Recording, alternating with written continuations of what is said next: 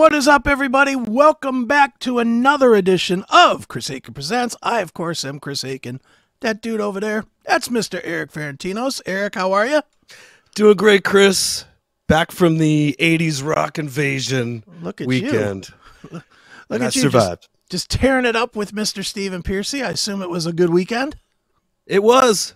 The That's show cool. went on. I thought it wasn't going to happen because of the rain, un- Right. unforeseen rain I was telling you about that that morning on Saturday. Sure. Well, we'll get to all that here in a bit, but we are not going to waste any time. We have a guest waiting to get on this show. He was so anxious that he was here before the show even started. That's how much he wants to be on the show. That's the kind of friends we'd like to have. That's right. And plus, uh, if I'm not mistaken, and he could tell us for sure, but I think he's playing with our mutual friend, our our show friend, Brandon Paul. Right? Is that right? I That's think what I'm hearing. that's what I'm hearing too. So we can um we can explore all that. The guy's name is Kurt Deimer. He is um he's going to be out on tour for the next probably 2 months. And depending on what kind of music you like, you should be able to see him because he's going to be on tour with Skid Row and Buckcherry. That's when I'm going to see him here in Cleveland. And then he's going to be back on tour in October with Mushroomhead. So di- musically diverse and his music definitely fits both styles. So why don't we do this? Let's give everybody a taste of Kurt's music and then we'll bring Kurt in and we'll get right down to this shit, shall we? So let's We go. shall. Let's go then. This is Burn Together. This is Kurt Deimer. And we'll be back with Kurt right after this. It's Chris Akin Presents. Nothing is private. No landline in the room. Secrets are hacked. Wait. It'll all be over soon. Double down, you don't have to believe. Can't let it break you.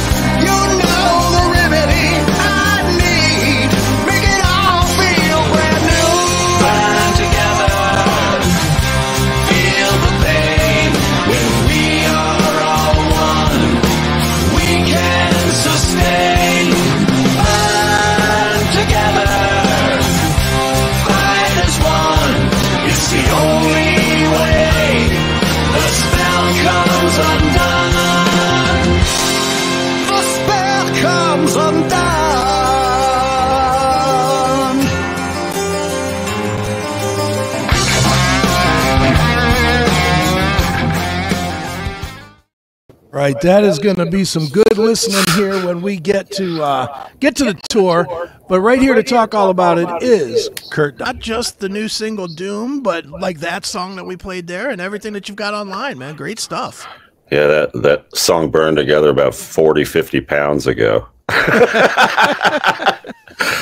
th- thanks for reminding me. It's always good to have that motivation. But yeah, that, that song, uh, it's one of the first we put out, videos we put out. And uh, obviously that was uh, Geoff Tate along with me. So we, we did that uh, Burn Together featuring Geoff Tate and might have another little surprise coming here soon. So. Tell us about uh, Geoff Tate, like how he got involved with this tune. Well, my uh, management back in it was uh, 2021 um, was uh, Andy Gould and Paul Gargano, Okay. and Paul Gargano is really good friends with the Tates. And as we were kind of planning out what our first tour would be, how we start to present ourselves to the world, uh, I haven't been touring two years yet until September. Uh, they set up a meeting, and the Tates came into LA and uh, we met for dinner one night and we put together a plan for us to open up for them on about 40 plus dates starting in september of uh, 21 and then we agreed that i wanted him on this song burn together because i thought my voice along with his offsetting each other telling the tale of the demise of the modern family um, would just be so appropriate. And he agreed to come on board and be featured on that song and then shoot the music video and then we uh, headed out on tour. So Very cool. that's how it all came together through paul gargano. So thank you paul Very nice. Well, dude, uh, speaking of Geoff, and, and we'll get to Kurt Dimer in a minute, but speaking of Yeah. Geoff, from everything I've heard, he can be difficult to work with. How was he to work with? Was he easy to work with or, or Yeah. Yeah, he uh flew in. We uh, rode out to the desert together, and that video we shot it was 116 degrees that day out in Oof. Palmdale, and uh, we were out at Eclectic West, and it was brutal. And he just went there. I mean, we're shooting this video, and he's in the in the dome and everything, singing at the top of his lungs. You know, even though it's a music video, it was just amazing, and we became friends. And you know, it's you know, you, you treat people with respect, you get respect back, and Geoff and I get along great. Uh, when we went on tour, I even got invited on the bus a few times, and uh, we're just we still stay in touch now, and uh, might be doing something else here in the future. Very good, man. Well, dude, obviously, man, a, a lot of the people that are hearing, hearing, and seeing you here with us for the first time are probably going, "Who is this guy?" You know. so why don't we start Yeah, who there? the- why don't we? Yeah, exactly. Who the So- fuck's Kurt Deimer? Yeah. Exactly. So who the Yeah. fuck is Kurt Deimer? I guess That that's the your obvious shirts at the show. You should sell those. Who the fuck's Who the Kurt F is Kurt Deimer? Deimer? Yeah. yeah. Yeah. I got that's another one I'll add to my arsenal because I got some, some pretty crazy T-shirts coming. But no, uh, Kurt Deimer's just this guy who grew up uh, his whole life uh, kind of doing what everybody told him he can't do. Uh, I started working young. I figured out how to graduate high school without studying. Uh, went to college. I partied my ass off for a few years. I was in a ba- playing around in bands around where I was going to school at University of Cincinnati and a couple before that. It took me like three colleges to get out. And uh, then I met met my kid's mom. I have three boys, uh, 28, 27, and 17, all the same mom. But I met her young. We got married young, and she helped straighten my ass out. I got out of my my degree, and then I ended up getting a master's degree in management and marketing from uh because I worked in the oil business for Chevron and stuff. But so I kind of laid the music down, my creative side down.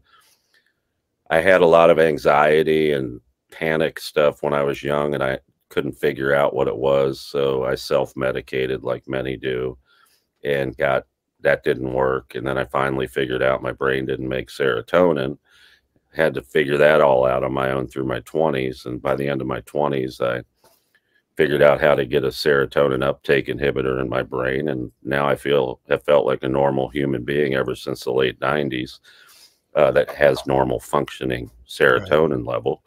And started my own oil companies in 1999 above my garage with money i raised from buying and selling real estate because i wasn't handed anything in life. Um, i wasn't born into money. And uh, took care of my parents and my sister and my dad as they passed away in the decade of the 10, 2010 to 20 lost both of them Mm. and i went to go uh, for my oil brand starfire i went down to uh, shoot a cameo to present the check to the winner in a movie called trading paint starring john travolta and shania twain and toby sebastian from game of thrones and the next thing you know, they're taking pictures of me and they cast me. They say we need a speaker to be the track announcer at the end of the movie and interview the winner in the winner's circle. Awesome. So how could how could I not do that? It look I, I look for signs in life all around me, and I'd lost my dad, my sister. She was a theater person, and she could have been on The Voice. She has the operatic, like a Geoff Tate voice, but a female, just crazy. And I said, yeah. And I learned my lines. And the next thing I know, I'm shooting a scene with John Travolta, and he's tell, we're talking through it, and I end up in the movie. And then I get cast in Halloween in 2018. I get killed by Michael Myers. I'm the bald guy in the gas station. Teeth come out of my mouth. So I'm like, okay, there's my sign. And uh, so I started weaning out. I go, I'm going to go back and do it. My kids are older now. I've raised my kids. I've been there for them all the way. And now I'm going to go back and do what I wanted to do when I was 20, when I'd see Ozzy and Randy Rhoads, or I saw Iron Maiden with Paul in the band, you know, before Sure. Bruce and all those bands. And I've, I said, man, I want to be on there and feel that energy, but I'm too nervous. So now that I had figured all that out and it was the right timing and I conquered and created companies that people told me I couldn't do, well, I'm going to go fight this battle and I'm going to get, go back and do the music I wanted to do. So I hooked up with a, writer friend uh, Ben Trexel in Alabama when I was shooting more uh, smaller projects to get more acting under my belt, and uh, he had a few songs and he sounded like a wedding singer on them, and I'm like, let me sing the way I used to sing back in the day, and we did three songs. We kept writing songs. "Burn Together" was one of them, and uh, took it out to L.A. And this is about 2019 when I got back into the vocal singing and being a frontman Right. and took it out 2020 to LA, a demo under the name of Bald Man. And COVID had just started, and my management at the time, this was pre Paul and Andy, um, said, let's get this remixed because David Bendeth had done the Bald Man uh, demo. And he said, let's take it to somebody in LA, one of the uh, one of the mixers out here. And Chris Lord-Alge agreed to look at it Wow. he liked my style, the way I tell a story.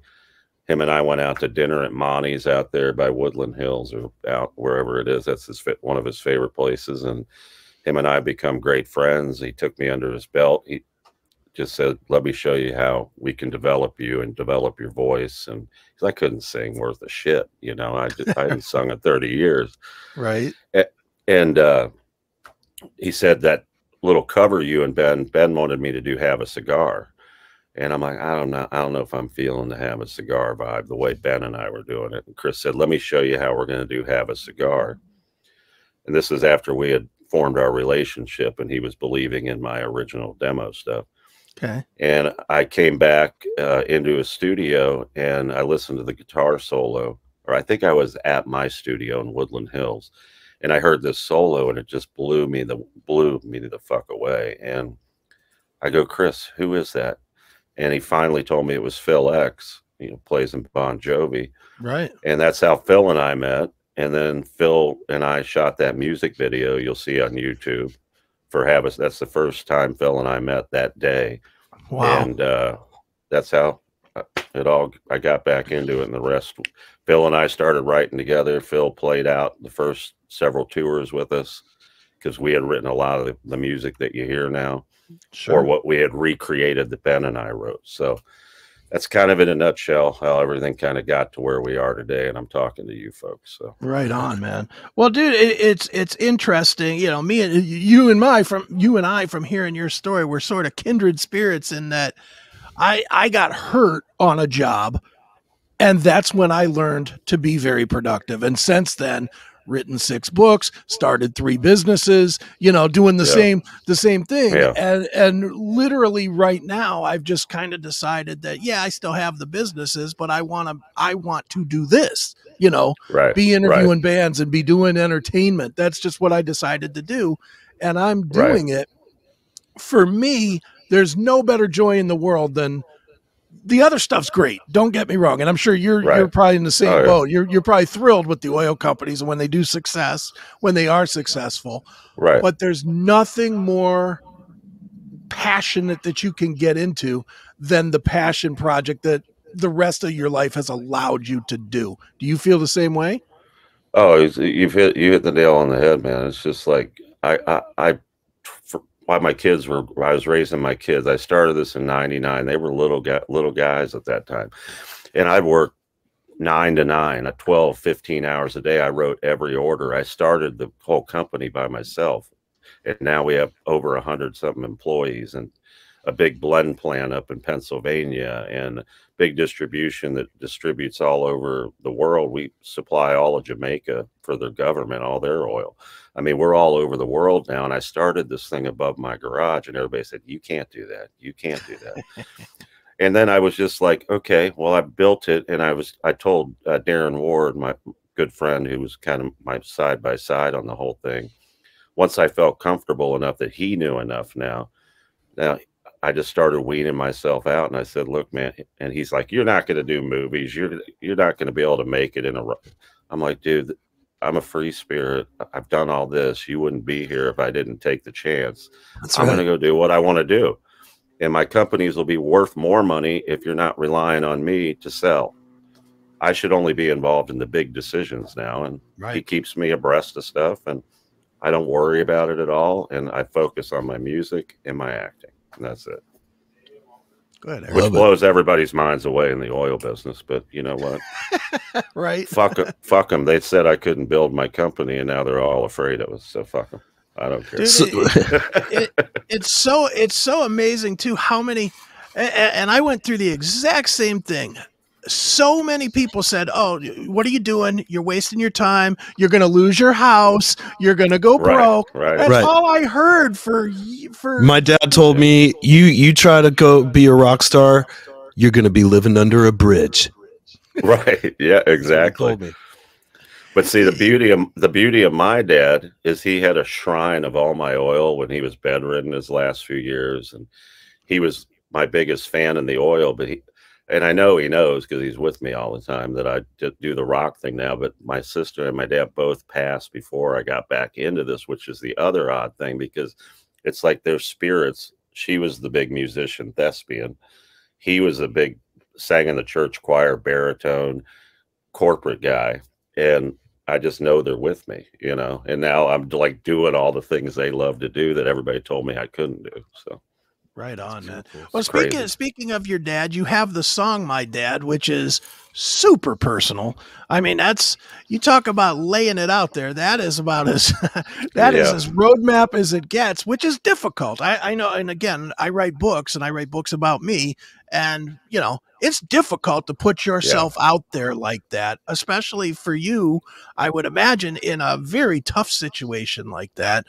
Talk a little bit about this song and specifically about sharing that piece of your world with anybody that hears it.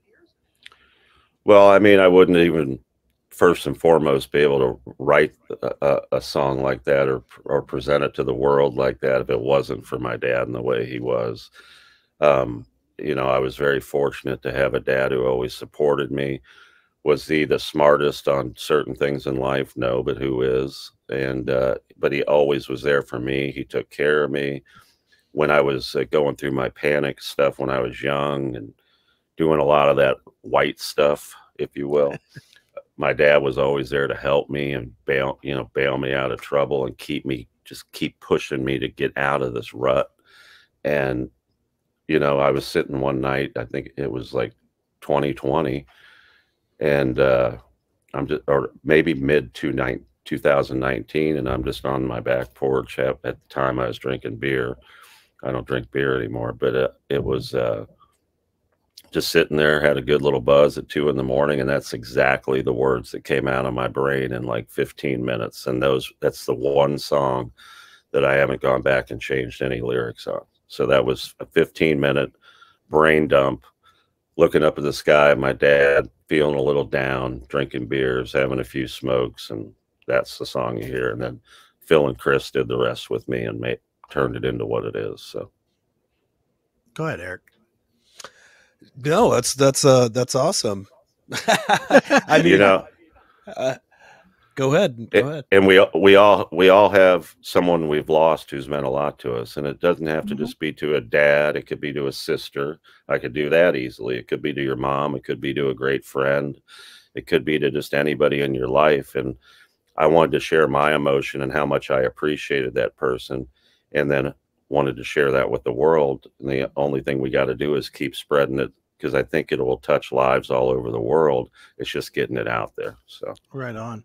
That Well, was man, my whole intention there Well, speaking of getting it out there, man, I, I have to imagine, and, and I'm guessing, and tell me I'm wrong if I'm wrong, but I'm imagining the hardest part about being Kurt Deimer is getting the music out there for a number of reasons. Obviously, the first is the oversaturation of the market in general. There's just so much music out there right now. It's really hard to break through. But I think for you, you specifically, the hardest part has to be that you don't fit nicely in any box. You're not you're not a metal guy, you're not a rock guy, you're or maybe you you are a metal guy, you are a rock guy. There is a country element sort of thing in there. There's like a 69 eyes goth element to your voice. I mean, you fit a lot of places but not fully in any of them. How has it been finding the audience? Well, every time we go out, we've toured with Geoff Tate. Then our next tour was with Yngwie Malmsteen. I took on that. They're like, Right. "Why are you going out with just a shredder?" Right. And they're all just going to want to go see Yngwie just shred. But we came away from that tour, and everybody's like, "Thank God you guys were here. We got to watch Yngwie do his thing, and then we got to hear this new kick-ass rock band that just I can't even pigeonhole you anywhere." But we're so thankful. And then we went out with Drowning Pool and got the same thing. And uh, now we're going out with I think an even better match with Buckcherry and Skid Row, and then Mushroomhead's hard. But every time we play somewhere, because we're unique and different, and we just rock it out, and my band just brings it. People Right now, tripping. Speaking of your band, one of my friends is apparently playing with you, Brandon Paul. Is that Brandon correct? Paul. He is our yeah. He's the newest uh, member of the band. What I, I've I've really been wanting to find a cohesive unit because I really loved it when I was younger to go see the same guys in these bands that we go to. Yes, agreed. I think it's very important. And I knew F- uh, Phil and I had our two years. We did great things together. We're brothers. I appreciate and love him more than anything. But he's he's with Bon Jovi. He belong. He's on the big stage, and I I felt really bad having him have to go play some of these smaller places. And I'm trying to build my band where it's the same people. So now we've got Dango on drums, Dango Jellin, um, Brendan Hengel on bass. He's my music director now. Brandon Paul on vocals and guitar, and then Sammy Bowler uh, as my lead guitarist. So that's the band you should see from now on because they're all in it to win it with me now, and uh, they know what we got to do. So yeah, but Brandon's awesome. In fact, Brandon and I uh, just finished our acoustic version of Doom because we have radio stations that want to hear us play Doom acoustic. So we're going to shoot a video around the fire pit tonight of us doing Doom acoustic, me and Brandon Paul. So I'll- make sure I'll that his hair doesn't send it. catch fire. Yeah. Yeah. Yeah, Well, Aquanet is what killed all my hair back in the day. I was pulling it all up, spraying that shit all over. And then I'm like, why am I losing my hair at 20? And I'm like, now I look like a, I have a cul-de-sac. Let's just park some cars up here. I know that tune. so now I just shave it off every every couple days. Right on, man. Well, dude, since you mentioned the Skid Row Buckcherry tour, uh, you know that's that's like the next thing that comes up. Starts um starts in what in a two weeks, right? Oh no, actually, uh, we're rehearsing all day today, tonight, tomorrow. Then we head out tomorrow night, and Okay. we play the ha- House of Blues in Dallas on Thursday. Okay, wow, excellent. Well, I know you're here in like two and a half weeks. Maybe that's where I'm messing it up, but because you're in, Cle- Yeah. I'm in Cleveland. You're here on the 9th, I believe, Is that at the Roxino or at the Roxino. Yeah. yeah, yeah? I think that's. I'd have to look at my master tour, but yeah, I think it's the ninth. Yeah. We're because Yeah, I- we're at the yeah Go we're ahead, at the. Rose Music Center in Huber Heights. I think the day before that. Okay. But yeah, so you're coming out to the Cleveland show. I'm coming to the Cleveland show. Absolutely. Right. that's gonna be that's gonna man. be a lot of fun. And and for a lot of one, I you know discovering your music, I definitely want to see you guys perform. I've seen Buckcherry and Skid Row a million times, but I've never seen Skid Row with Erik in it. So I, I'm Right. anxious to see, like probably like every other Skid Row fan, to see how he fits. So it's going to be an exciting. I think it's going to be an exciting show, and And probably Chris is talking about tour. Erik Erik Gronwall, ladies and gentlemen. Not Yeah, me, not not this Erik. in you were confused. Yeah, and Br- Brandon Paul, my guitarist, says Erik is just phenomenal singer. So I can't wait to hear him perform. He just, he I'm just pretty good, but mind. I'm mostly known for my guitar work. um, no, I'm Erik from Skid Row. Oh, Yeah, that's that's what he said. He, he just said he's never heard somebody sing like that. Not taking anything away from you, Erik, the guitarist. thank you Which by very the- much. Which, by the way, it's a pleasure to meet you, man. Love Pleasure to love meet your you work. too, Yeah, Kurt. yeah. Thank you so much for coming on today. Well, well, Kurt, how did you guys end up on this on the Skid Row tour? We'll start with that one. How'd you end up? Did just a tour uh, manager or what? Oh, at my management, uh, I my manager now is Brian Wheat, who's the bass player Oh, in Tesla, right, right. and then Dean Robson. Uh, they co co manage me, who also manages Tesla with Brian, and uh, my booking agent now is Andrew Goodfriend from TKO, and that's who b- booked this tour and hooked that up, and the Mushroomhead tour, and we're working on some other stuff right now as well. So, but that's how it all came about. Sure. Could- Let, let, uh, let's go ahead, Oh, Erik. w- well, you know, not to not to derail the whole thing, but I was really interested in some of the movie talk, sure. like specifically for our, the horror fans and stuff. That I thought the Halloween thing you were talking about is pretty awesome. What? Tell us more about like the the experience on the Halloween set. Like, was it some? Was it the same people that worked on the earlier movies? Was this um, Rob Zombies? Was it was it his version? Oh no, this this was the official sequel to the first Halloween. Oh wow, this was going Car- way back. John Carpenter, yeah. Oh hell yeah! So then David Dor- David Gordon Green and Danny, I'm not I'm I know I just can't remember his last name, but they uh, got with John Carpenter, and this is the official sequel with um, Jamie Lee Curtis from the original one that uh, had come out back in the late '70s, and they did three of them. They did the one I was in, then Halloween Kills, and Halloween Ends. So it was that trilogy. So Nice. I'm in, I'm in one of the four real John Carpenter Halloween movies officially. So I'm on a short list of kills, which is cool as fuck. And uh, I'm the gas station attendant. If you guys want to watch it, it's 2018. ver- Uh, and Jamie Lee Curtis and James Right. Jude Courtney plays um, Michael Myers. But we filmed my scene at a gas station in South Carolina. This is the, you know, granted the second movie I'm in now. You know, it's a whirlwind at this point. And I show up there. They go, okay, you're going to get killed by Mike, which I knew that, but I didn't. I didn't know. Am I going to be fighting him? Am I? I had no clue. But then I had to sit in the prosthetic uh, chair with Christopher Nelson, who did the mask, and he made this whole broken jaw, ripped up mouth, face. Uh, That took about three hours to get it on, about an hour to get it off. And I had to walk around all day with a big towel over my head because they didn't want the public to see this because they knew it was going to be epic kill. I ended up in prosthetic magazines, signing autographs at horror conventions of my picture my kill. That's The teeth came out of my mouth. I just sit like that position for four hours while they snap thousands of photos. And then, he, then they were going to put a dummy on the gurney when they rolled out the me as a victim. And I go, "You got this all over me. Put me on the gurney, zip me up in the body bag, and make it real." They're like, "Really? You'll do that?" That's. I go, "Yeah. Why not? But you just spent three hours on this shit, and I, I'm gonna lay on the gurney. I want to see what it feels like to be zipped up in a body bag while I'm alive. you know."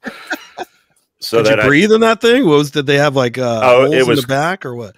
No, it was quick enough though. You know, they just needed to film it being wheeled. They wanted to show the zip up, and then we and then they get you right out of it. They're so worried about your safety. So, so while I'm doing that, and I'm sitting in the gas station, I'm sipping through a straw Coke all day because I can only drink a can of out of a can. I can't eat. And James Jude Courtney sitting there with his Michael Myers face. We're just sitting in there talking about our cats and our families and just our kids. And then we go and you know, it's just crazy.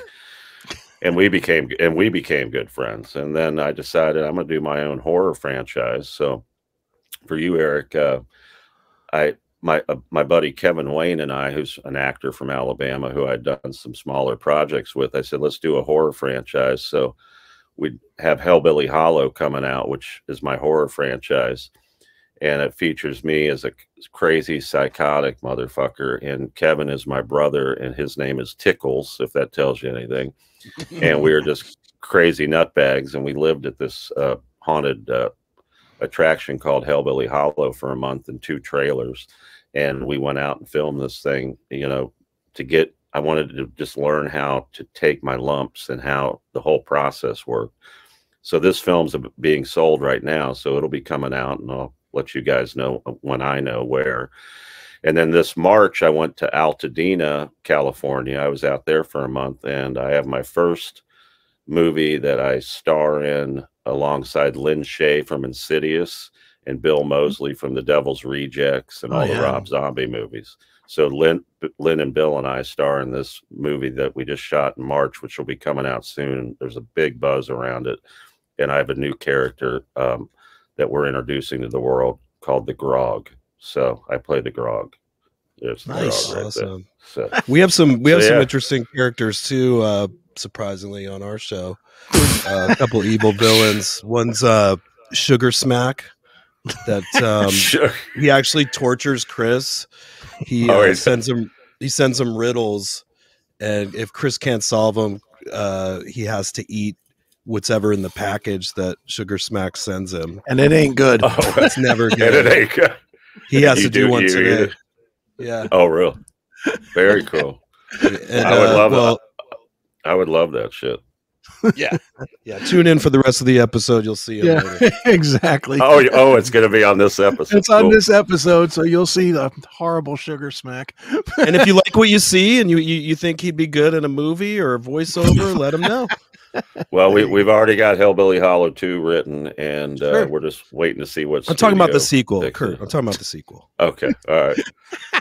or we'll just do a little. Sh- maybe you can be in one of my music videos. I need to shoot in November. There you go. December. We'll do a little sh- Now we're sugar talking. smack shit. Sugar smack can make an appearance.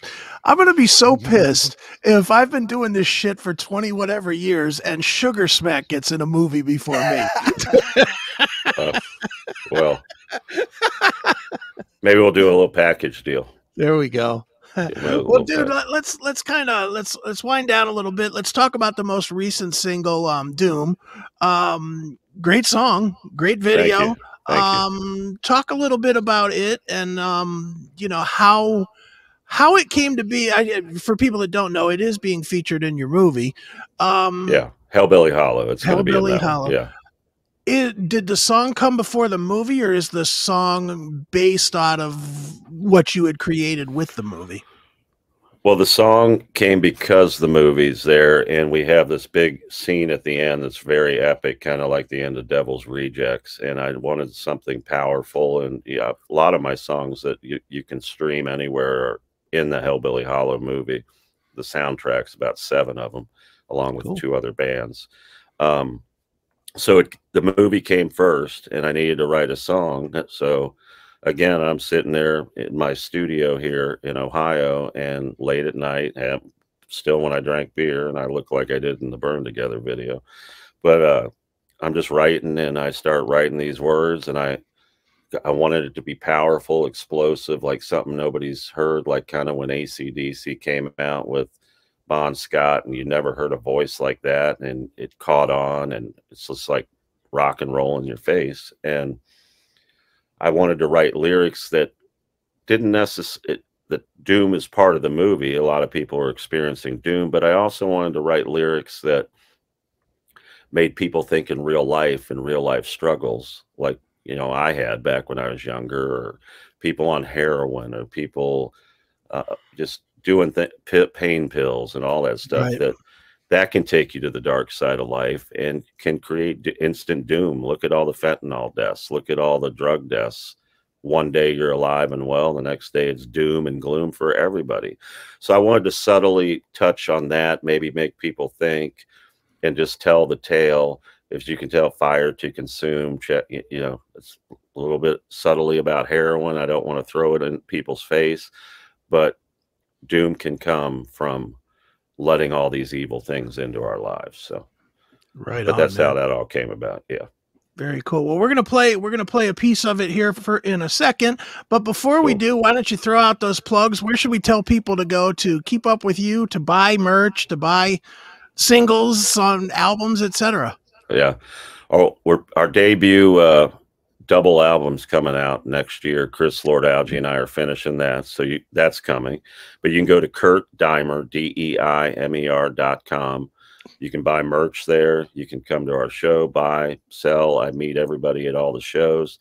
You can follow me at Kurt Deimer, D E I M E R on Instagram, Facebook. Join the fam club on Facebook, the Kurt Deimer fam club, um, YouTube what else x uh, everywhere uh, subscribe follow us and the website and all of those social medias is the best way right now and the merch is all on the website we're going to also be selling our vinyl on there when that first issue comes out and doing some specialty vinyl and and whatnot but that's the best way or just google kurt deimer and all kind, kinds of stuff will come up my red carpet debut for halloween my Nice. Right.